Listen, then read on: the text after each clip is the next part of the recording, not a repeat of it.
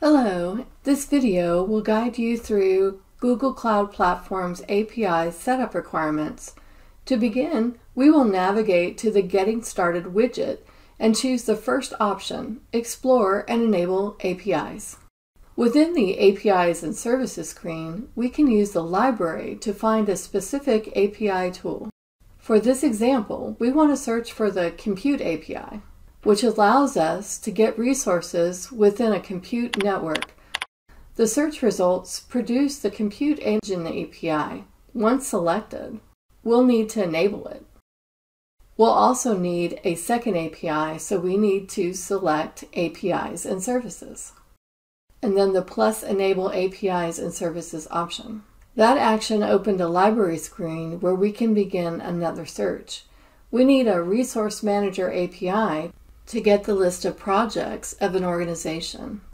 Using the word cloud as a search term, the results pulled up the Cloud Resource Manager API. We will enable this manager and see the service name and overview. After we've enabled the two APIs, we can return to our navigation menu at the top left and select the IAM and admin area of the platform where we need to set up a service account. Select Service Accounts from the menu options and on the Service Accounts page, we need to use the Create Service Account link. This is to establish a service account for this particular project. Begin the creation by entering a unique name and then provide a brief description. For reference, and then select the Create button.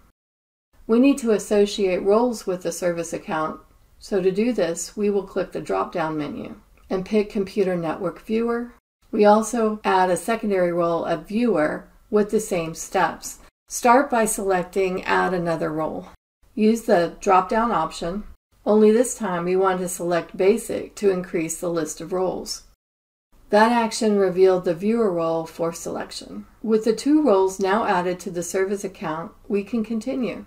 The third step provides the opportunity to add more user roles or admin roles but we will not need them. We can complete this transaction with the Done button. This screen shows us the new active service accounts for our current project. Right now, the key ID column indicates no keys. If we look to the right at the last column, or Actions, we can click the menu access. Among the options of this menu, we want to choose Manage Keys. Selecting the Manage Key option moved us to Keys, where we can click on the Add Key button and create new key. For an API Connect, we can pick from a JavaScript object notation or the P12 format. For our example, we will leave JSON selected and then click the Create button. After we read this note, which reminds us to store the JSON file securely, we can close this window. The file downloads to our computer and we can open it in our API editor of choice. We hope this helped guide you through the requirements for setting up Google Cloud Platform's APIs. Please visit our other videos or our website at redseal.net.